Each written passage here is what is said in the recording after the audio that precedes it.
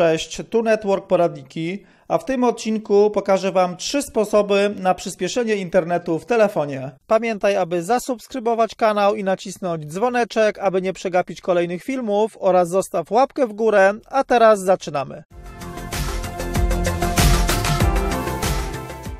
Pierwszy sposób i zarazem najbardziej skuteczny, uruchamiamy przeglądarkę Chrome na telefonie, następnie klikamy w prawym górnym rogu trzy kropki, no i tutaj szukamy sobie zakładki ustawienia. Następnie musimy odnaleźć kolejną zakładkę o nazwie oszczędzanie danych. Klikamy. No i tutaj e, włączając funkcję oszczędzania danych, e, Chrome będzie korzystał z serwerów Google, by kompresować strony i przyspieszyć ich ładowanie. Dzięki temu, korzystając z internetu, będziemy pobierać nawet o 60% mniej danych, no i to znacząco przyspieszy internet w telefonie. Więc klikamy ten szary suwak, no i tutaj włączy Wam się funkcja oszczędzania danych, no i pojawi się przy okazji tutaj statystyka. E, będziecie mogli również zauważyć, ile e, danych mogliście zaoszczędzić, e, pobierając tutaj różnego rodzaju strony dzięki włączonej funkcji oszczędzania danych. Drugi sposób polega na wyczyszczeniu pamięci w przeglądarce Google Chrome. Aby to zrobić, wchodzimy w ustawienia telefonu, Następnie szukamy sobie zakładki aplikacje i powiadomienia. Następnie szukamy zakładki aplikacje.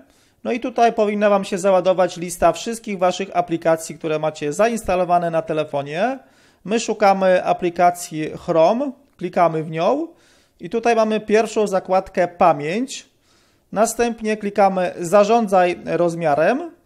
No i tutaj na samym dole mamy taką zakładkę wyczyść wszystkie dane.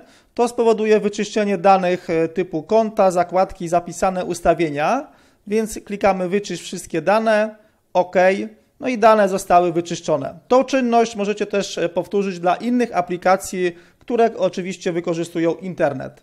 No i trzecia metoda polega na usunięciu aplikacji, które korzystają z przesyłu danych, a z których tak naprawdę nie korzystamy. Aby takie aplikacje sprawdzić, wchodzimy w ustawienia telefonu, Następnie szukamy zakładki sieci zwykłe i bezprzewodowe. Następnie klikamy zakładkę transmisja danych.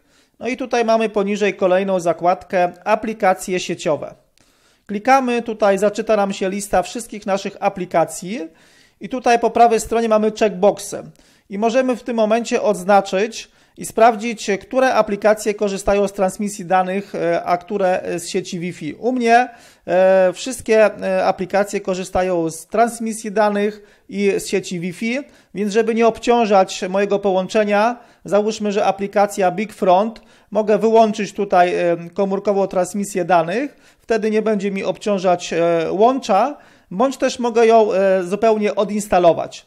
Jeżeli będę chciał ją odinstalować, to po prostu muszę sobie taką aplikację odnaleźć w moich aplikacjach, no i po prostu przytrzymać palcem, przeciągnąć do góry ekranu i pojawia mi się e, komunikat, czy chcę odinstalować tą aplikację. Jeżeli e, chcę odinstalować, klikam OK i taka aplikacja e, zostanie odinstalowana i nie będzie obciążać tutaj dodatkowo mojego internetu. Jeżeli pomogłem lub nie wiedziałeś o tym, koniecznie zostaw łapkę w górę, wspierając moją pracę, zostaw komentarz, udostępnij ten film, no i koniecznie subskrybuj kanał i naciśnij dzwoneczek, aby nie przegapić kolejnych filmów. A więc do następnego odcinka, cześć!